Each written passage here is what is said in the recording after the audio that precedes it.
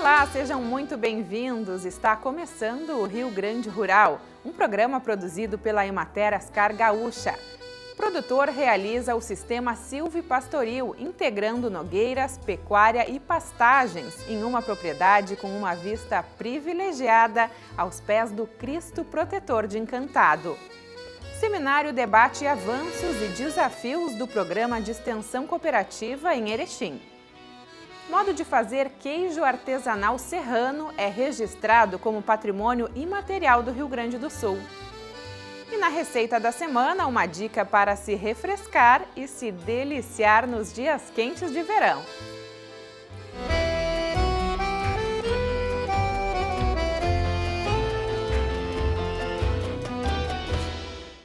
Município de Encantado, um produtor implantou o sistema silvipastoril, integrando nogueiras, pecuária e pastagens em uma propriedade com uma vista privilegiada.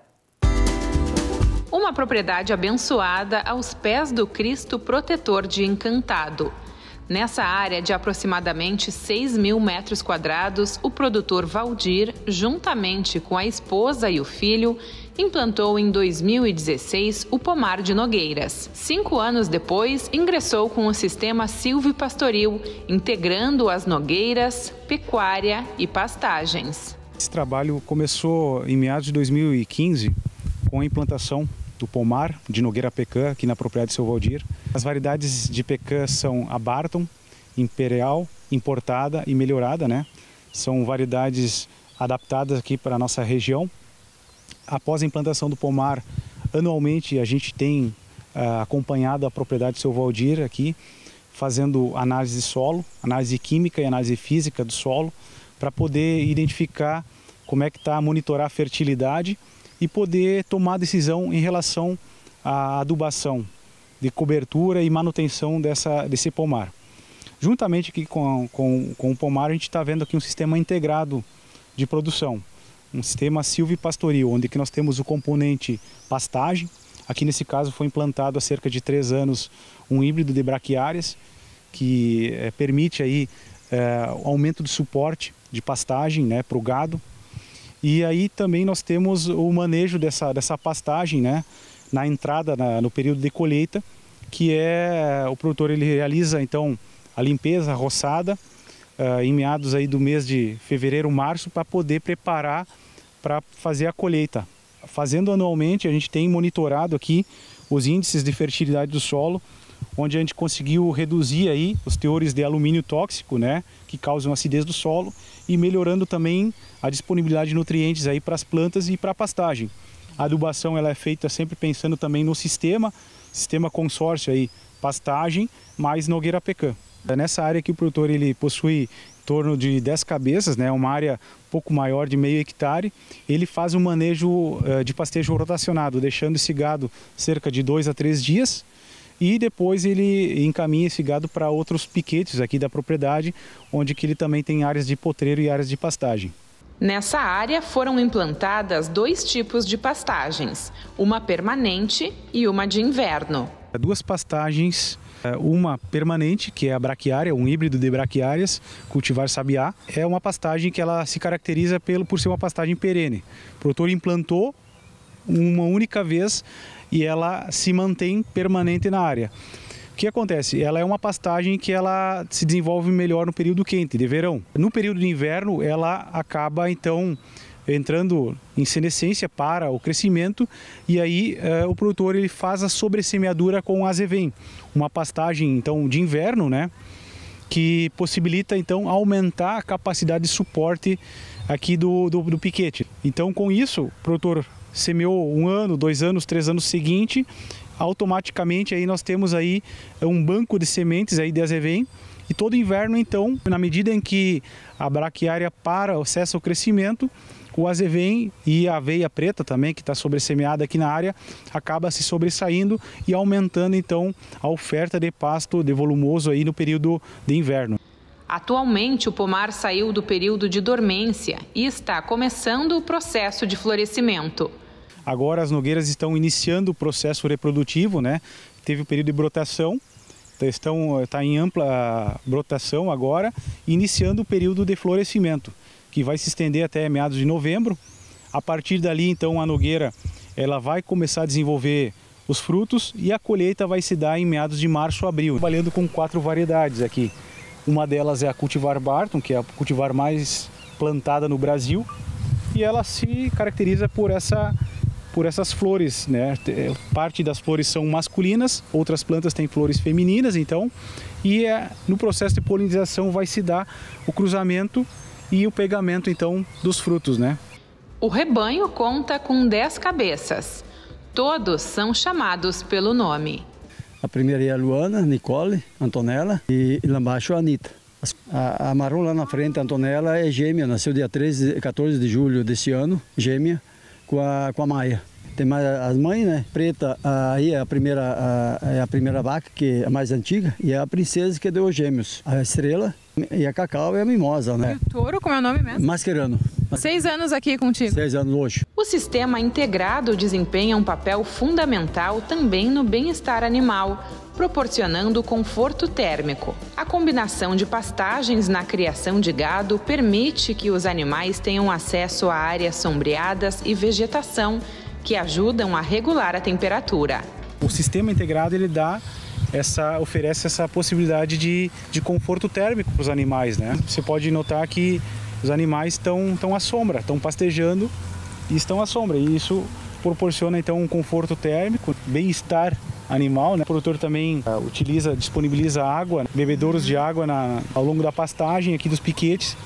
E isso faz com que o animal ele consuma mais verde, mais forragem e aumente aí esse consumo voluntário e consequentemente a conversão também, unindo o útil, que é a sombra, né, o bem-estar ao ao econômico também, o retorno para o produtor. Então, como é um, se trata de um pomar uh, de área reduzida e com um terreno declivoso, o produtor aqui realiza, juntamente com a família, né, a colheita manual. Então, nessa colheita manual, o que, que precede ela? A, a limpeza da projeção da copa, né, através da roçada. Na sequência também o produtor ele realiza então a colheita, né, feita manualmente aí com estacas, com taquaras e também fazendo a, a, coleta dos frutos no chão. Por isso que é importante fazer esse manejo de retirada do, dos bovinos, né, cerca de 60 dias antes, né, para poder então garantir aí uma sanidade dos frutos aí que eventualmente são recolhidos do chão. Esse projeto de fruticultura ele nasce lá em meados de 2015 aí, a partir do incentivo do, do Poder Público Municipal, em parceria, um projeto em parceria com a Emater, aqui de Encantado, em que os produtores é, que implantassem né, um pomar de fruticultura teriam uma contrapartida no valor da muda. Então, no caso aqui, houve uma contrapartida de 50% no, no valor de aquisição da muda, e isso então incentivou que eh, diversos produtores aqui do município instalassem pomares, entre eles pomares de Nogueira Pecan. Então a avaliação é de que a família ela vem eh, se empenhando, né? busca sempre qualific qualificação, participa, é parceira, participa dos cursos, nos seminários que a gente sempre desenvolve em parceria com a Imater e outras instituições para uh, eh, entregar um produto de qualidade, entregar um, um resultado uh, satisfatório. Né? E com isso a gente também avalia é, o manejo, né? o capricho do produtor. Só para exemplificar, é, no mês de maio, junho, né, quando nós tivemos aí os eventos climáticos extremos, né, com muitas enxurradas, aí, pessoal também é, com escassez de pasto, essa era uma das poucas propriedades aqui da volta que a gente visualizava um, um pasto bastante fechado, né, um manejo adequado. E, e, e isso é retrato, né, do, do capricho, do cuidado uh, da família né, com atividade, levando a sério a atividade com profissionalismo. Né? Então é muito satisfatório poder fazer parte desse projeto e acompanhar uh, com frequência aí a família aí atendida. Além de produtor, Valdir é contabilista de profissão. Alia o trabalho na cidade com o trabalho no campo. Dedicação, né? Meu trabalho, dedicação, responsabilidade, né? Tem que cumprir todos os direitos legais na questão profissional, né? Uhum. E aqui também não é diferente, né? É diferente aqui também, tem os compromissos a gente tem com eles todos, né? Com os animais, com, a, com, a, com o pomar, a comida para eles, tratar a comida, se sempre está pronta, uhum. tem alimentar eles a questão de forma adequada. Uma parte se, se vira um bom conta, mas, mas tem que dar no coxo também, né? Tem, tem silagem de milho, casquinha de soja, trigo moído, milho moído, sal mineral. Uhum. Médico veterinário acompanha, sempre tiver alguma dúvida, chama o médico veterinário que é da família, que cuida do meu lote, entende a questão toda, né? Nem eu, assim, já fui mais de carona, no caso, né? Então, eu acho que uma mudança enorme, assim, que se deu quando... Porque até teve anos, assim, que teve aviários, né? E depois foi mudando, daí com o falecimento do, do meu sogro e da minha sogra, então foi se mudando e a gente também vai evoluindo. Então, a gente tinha escritório de contabilidade, né? Trabalhou também em empresas, então era mais na parte urbana. Então, com o tempo a gente decidiu então retornar um pouco, né, é, é, retornar mais para as origens, vamos supor, uhum. e como tinha as áreas para serem trabalhadas, então a família se engajou para trabalhar mais da área uh, rural, no caso, né, uhum. para aproveitar também uma, uma questão também de, de mudança um pouco de, de, dos estresse, né, do dia a dia, né. Então a gente fez essa essa opção também. Só que às vezes tem também os seus prós e os seus contras, porque também trabalhar na área rural às vezes não, tu não tem a, a, no caso horário também, né, com os animais. Então quando é época também da colheita da nossa pecan, tu tem que ir lá colher, né? Tu não pode esperar, né? tem que ficar cuidando também do, do tempo, né? Se vai chover, se não vai chover. Então como é uma coisa assim bem artesanal, a gente também tem esse cuidado, né? Eu sou filho de agricultores, né? Sou nato de agricultores, então pais moramos, nós fomos primeiros moradores aqui nesse local. Nascemos aqui na mesma comunidade, mas parte alta, né? E em janeiro de 68 viemos morar aqui, fomos morador aqui. Então aqui está no sangue, né? Está no DNA da, da família. A gente também de origem, mas menos, menos presente, né? Mas eu aqui, a questão pai, a mãe, que o pai construiu aqui, tudo pela roça. E eu trabalho, eu friso a questão da família, da Mariângela, do Felipe, entende? Agora também tem a Nora também, chegando aí, já chegou, a Gina, a Gislaine. Né? Então, assim, importante é ali esse trabalho aí, é pequena propriedade, mas a gente faz com prazer, com satisfação, né? E foram presenteados com essa vista abençoada. É uma benção realmente, essa parte aí do Cristo, o protetor aí que nos protege não só a nossa comunidade, o nosso município, enfim, o estado, a região, o estado e o país, né? Como nós somos católicos, né, a gente tem a nossa fé uhum. e para nós assim, é, além de ser turístico, também a, é uma Alimenta. coisa assim de fortalece. De, de fortalece. a fé e é uma benção, né? Porque uhum. a gente acredita em Deus, em Jesus, né? Então, além do turismo que que é para o crescimento da parte turística, mas também tem a outra parte que é espiritual, faz com que a pessoa também se sinta bem melhor, né? Uhum. E tu tem um sentido na vida, né? Para crescer, para evoluir. Aí daí tu entende também a natureza, os animais. Só vem a fortalecer a fé, como a Maria de frisou, né? a fé, a esperança, entende? Como nós somos católicos, né? E praticantes, posso dizer, sempre ouvido na comunidade local. E aqui veio fortalecer a fé, o Cristo aqui. Quando ele vai lá, vai lá com devoção, com fé.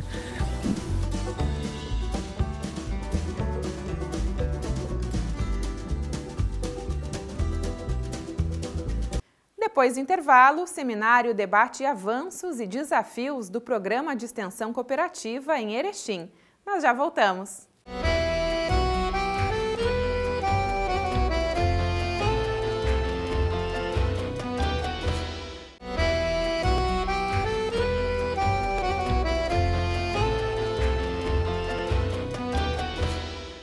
Piscicultura é uma importante alternativa de renda para agricultores familiares. Buscando dar maior segurança na produção para as famílias, a Emater desenvolve uma unidade de referência no espaço da instituição no Parque de Exposição da Expo Agro Afubra durante todo o ano. Em um açude são feitos experimentos com algumas espécies de peixes que já apresentam resultados. E essas informações foram apresentadas aos piscicultores. O Parque de Exposição da Expo Agro Afubra, em Rio Pardo, recebeu seminário sobre piscicultura. A atividade reuniu piscicultores da região e técnicos que acompanharam a apresentação dos dados coletados na Unidade de Referência Tecnológica da Emater entre 2023 e 2024, quando foi analisada a criação de carpas em policultivo. Nós começamos apresentando os resultados da unidade de referência tecnológica passada, onde nós fizemos uma introdução, é, uma, uma, um acompanhamento da criação de carpas em policultivo. Nós tínhamos quatro espécies, capim, húngara, prateada e cabeça grande. Agora nós estamos introduzindo somente carpas húngara, porque nós vamos fazer um trabalho de produção de carpa húngara para filé em sistema intensivo, né?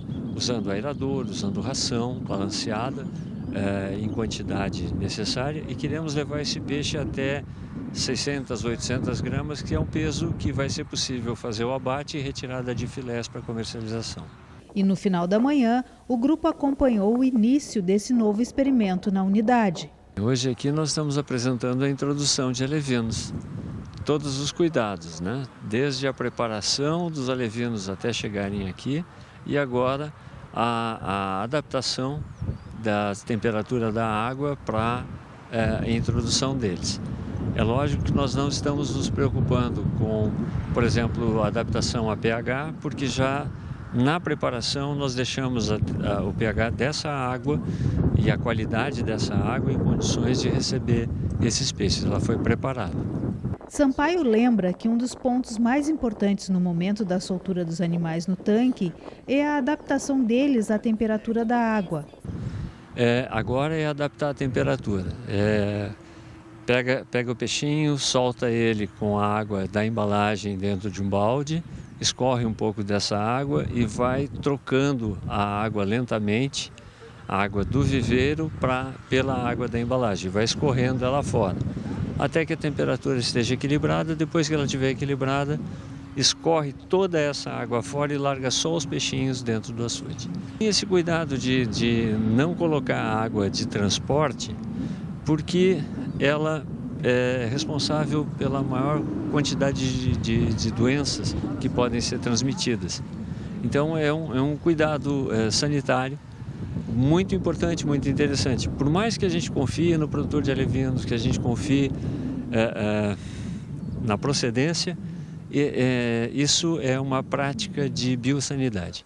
E o almoço contou com pratos à base de peixes, produzidos pela equipe do curso de gastronomia da Unisc. Parabéns, colegas.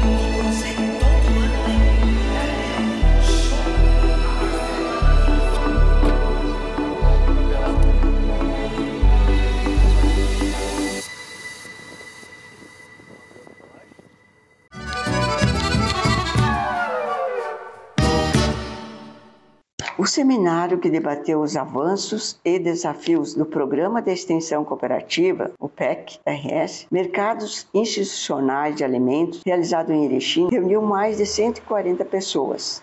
Participaram extensionistas da Emater RSSCAR, órgãos compradores, gestores públicos e cooperativas das regiões administrativas da Emater RSSCAR de Erechim, Passo Fundo e Frederico Westphalen. O potencial da agricultura familiar, produção, organização, políticas públicas, gestão, governança, importância da alimentação saudável, os avanços e desafios, inclusão social, além de relatos, marcaram a programação do seminário que teve um público voltado para a execução do Programa Nacional de Alimentação Escolar, o PENAI, e Programa de Aquisição de Alimentos, o PAA. Dia 5 de novembro é o Dia do Técnico Agrícola. Uma data que reconhece a dedicação e a importância desses profissionais essenciais para o desenvolvimento do setor agropecuário. Os técnicos agrícolas são responsáveis por promover práticas sustentáveis, otimizar a produção e garantir a qualidade dos alimentos que chegam à nossa mesa. Nossa homenagem a todos os técnicos agrícolas que, com empenho e amor pela profissão, contribuem para um futuro mais sustentável e produtivo. Obrigada pela dedicação e por fazerem a diferença no nosso dia a dia.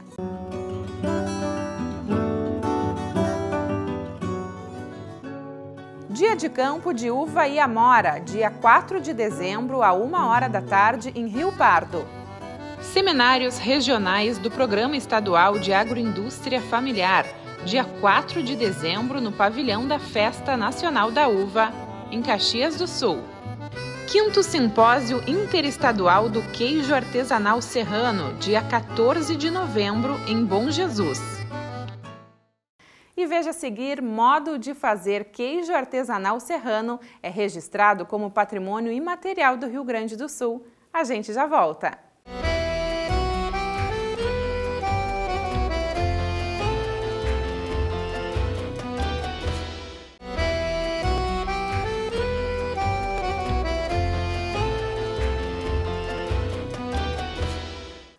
Modo de fazer queijo artesanal serrano, uma tradição de dois séculos, foi reconhecida oficialmente como patrimônio imaterial do Rio Grande do Sul. A emoção tomou conta do casal José e Inês Cardoso, de São Francisco de Paula, ao saber do registro do modo de fazer do queijo artesanal serrano. Há quantos anos vocês produzem queijo? Olha, naturalmente na, na família já é uma, uma geração, de geração para geração. Eu e a Inês, nós fazem 45 anos que produzimos queijo. E o que, que o senhor está achando desse momento de conseguir o registro tão especial do queijo serrano? Para nós, isso foi uma valorização muito boa, que dentro desse trabalho de 20 e poucos anos que nós temos, hoje ele sendo reconhecido assim na região dos Campos de Cima da Serra, é muito importante para nós. Que isso vem agregar uma valorização no nosso trabalho muito boa. E naturalmente, à medida que nós começamos a ter uns problemas na propriedade, a Emater começou a se unir a nós e ajudar a procurar, porque o Tudina está sentindo, sentindo, falando para o Capelli que a Coimater nós começamos em 97 já a fazer capacitação de boas práticas de fabricação. Aí veio um período e graças a Deus veio se evoluindo e hoje chegamos no patamar que chegamos, foi junto com eles. Assim como eles, outras 16 famílias produzem formalmente e preservam a tradição em 16 municípios gaúchos que se concentram nos campos de cima da serra. Nós, nós sempre fizemos queijo aí lá do, do meu pai, a minha mãe faziam queijo. A hora que eles fizeram, maturaram a primeira partida de queijo, que esperou lá 60, 120 dias, colocaram nas bruacas e levaram para Santa Catarina, lá veio, acabou a miséria da fazenda. Lá vinha tecido, vinha ferragem, vinha o gênero alimentício. Então foi, foi dali para cá acabou a miséria das fazendas da região. O queijo serrano saiu da marginalidade e virou celebridade com a assinatura do registro do modo de fazer queijo artesanal, que ocorreu no dia 30 de outubro em cerimônia no Teatro São Pedro, em Porto Alegre. São aproximadamente 16 municípios que envolvem essa atividade, esta região que se destaca pela qualidade, por um produto diferenciado e que com certeza traz agregação de valor, que é um grande trabalho que a extensão rural sempre busca levar aos nossos agricultores, agregação de valor, gerando renda, gerando qualidade de vida para as famílias do campo e da cidade.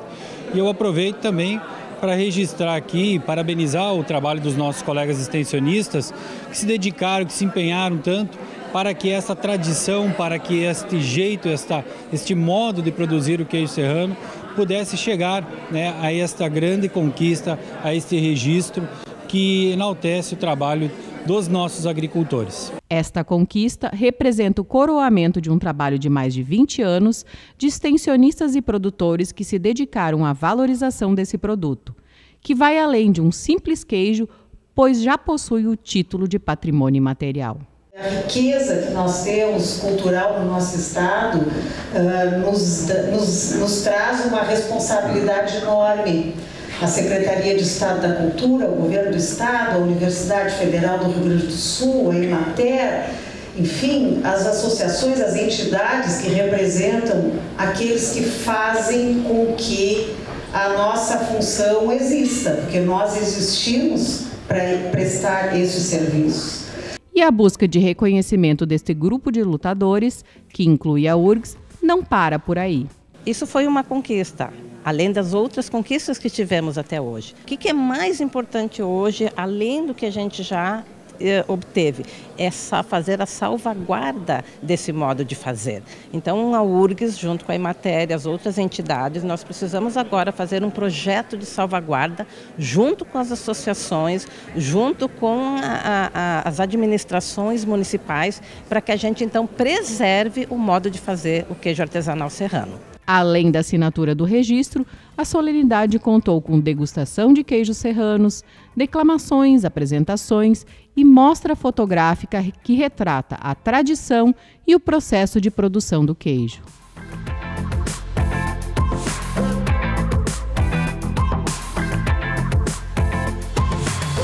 No dia 28 de outubro foi comemorado o Dia do Servidor Público.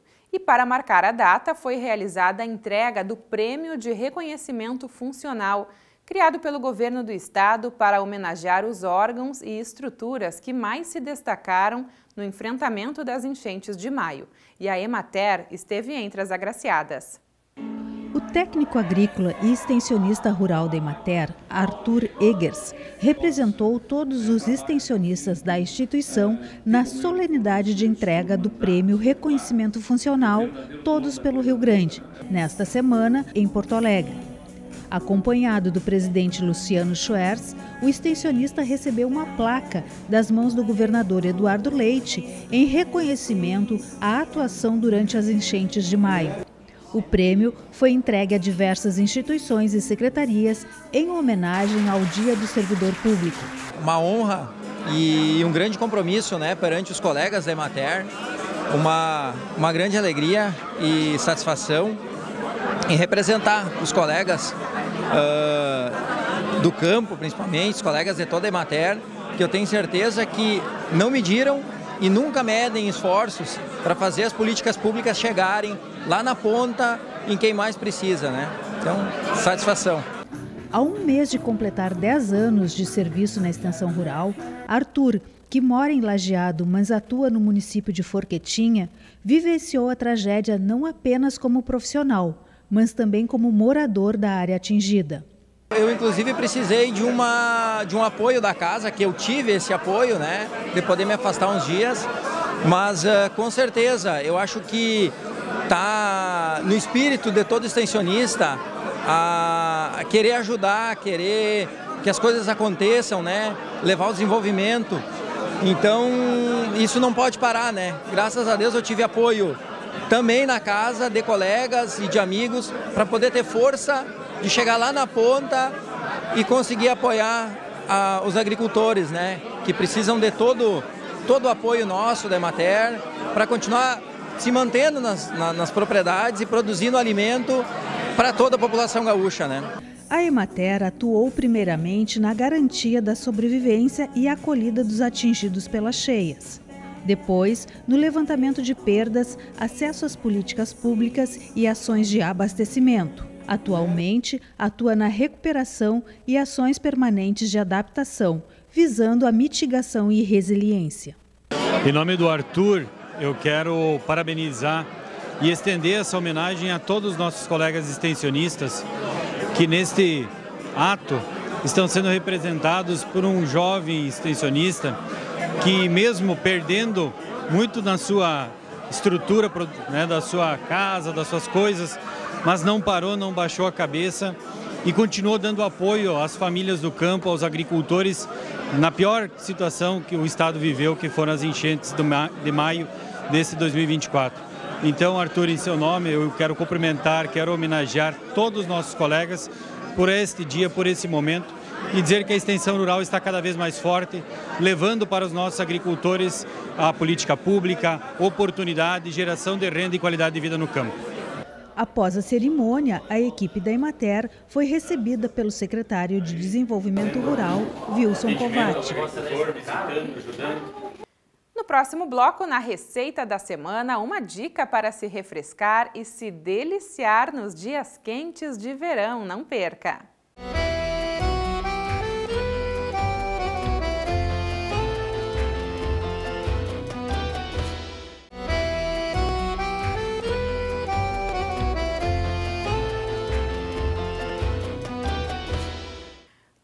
Do Sul, o calorzinho do verão já está dando as caras. E para se refrescar nos dias mais quentes, o Rio Grande Rural tem uma dica. Que tal um sorvete? Ou melhor, um semifredo feito com produtos das agroindústrias familiares? Vamos aprender?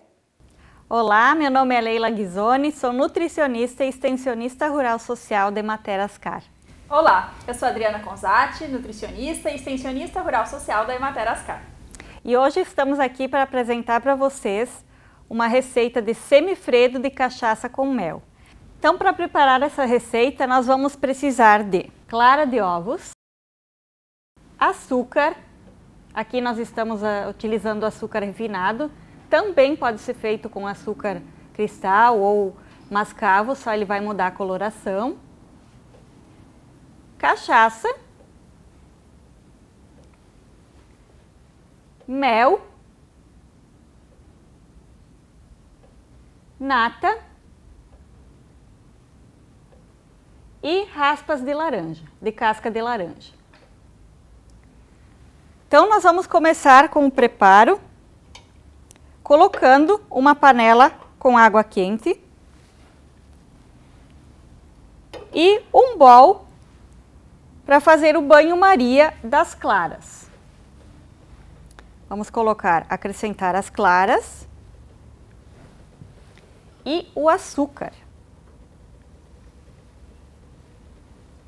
E vamos, enquanto aquece a água aqui, nós vamos dissolver esse açúcar nas claras.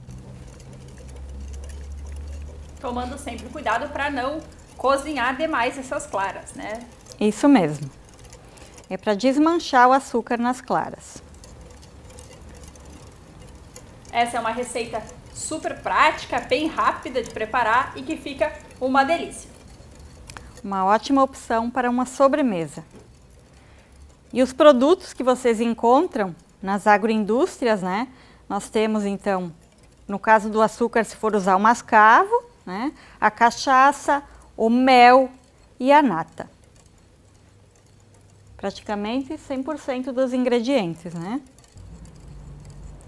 Em torno de uns dois minutinhos, né? Isso vai depender também do como é que é o fogão de vocês, a temperatura, o fogo, né?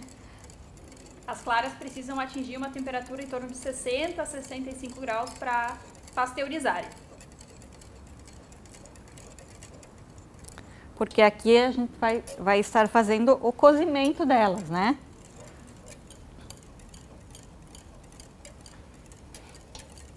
Que como depois não vai para forno, não vai para fogo novamente, as claras é um, é um alimento que tem que ser cozido, né? Consumido cozido.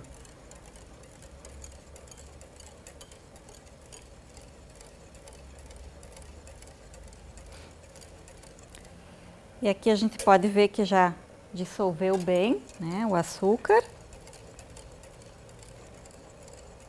Está quase no ponto de levarmos para a batedeira.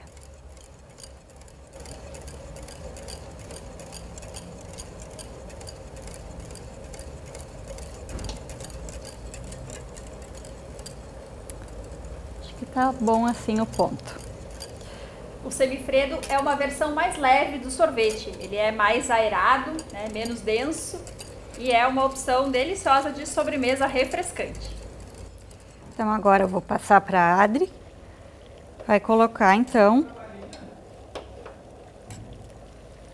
na batedeira para nós batermos as claras em neve.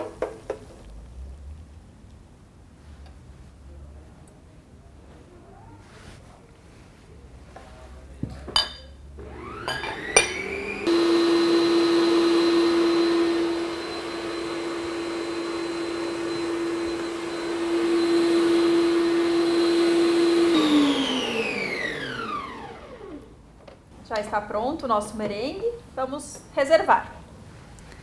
Vamos misturar agora então a nata.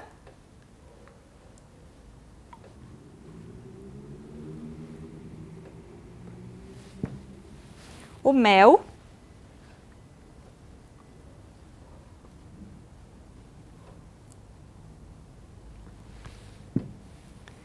A cachaça. E as raspas de casca de laranja. Não precisa bater, só misturar até ficar homogêneo. O fouet facilita, né? Para ele ficar mais homogêneo mais rapidamente.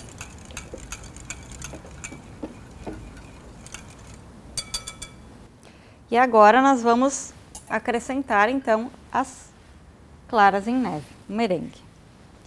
Nós vamos colocar uma parte, agregar bem.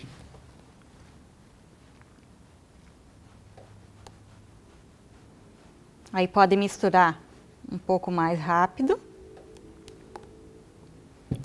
E o restante nós vamos colocar misturando mais delicadamente. Para não perder a aeração, a aeração do merengue. Que é o que vai dar a cremosidade, né, a leveza do nosso semifredo. Sempre movimentos de baixo para cima. Nunca mexendo no, no formato de bater, sempre só misturando. Que delícia o perfume do mel com as raspas de laranja. E a cachaça torna tudo isso mais volátil, né? Deixa o aroma ainda, ainda mais pronunciado. Ajuda a distribuir no ar, né, esse perfume. E agora, então, nós vamos colocar nas formas. Aqui nós estamos utilizando, então, forminhas de... Essas formas de silicone, de cupcake. Mas quem não tiver, pode utilizar também, pode colocar uma forma, uma forma grande, de uma travessa de pudim, por exemplo, e fazer um grande semifredo. Queres colocar, Adri?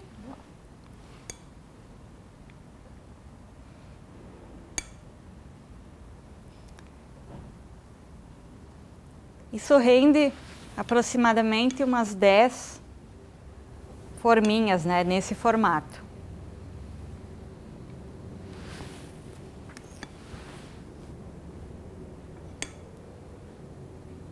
Vocês podem colocar também uh, em copinhos, por exemplo, de, de cafezinho, né? E depois podem servir no próprio copinho de cafezinho, sem necessidade de desenformar.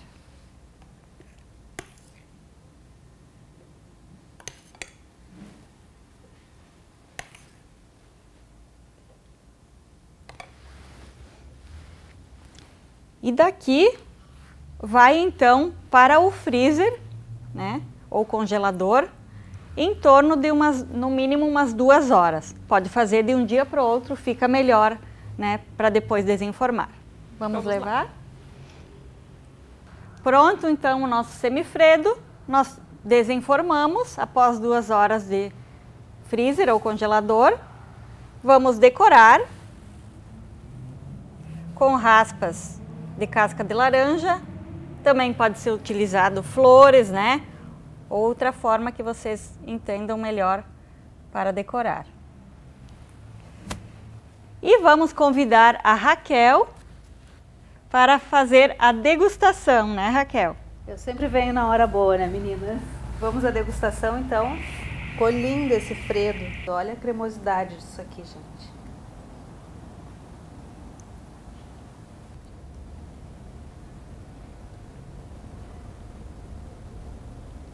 Uma delícia, mais uma vez vocês acertaram na receita.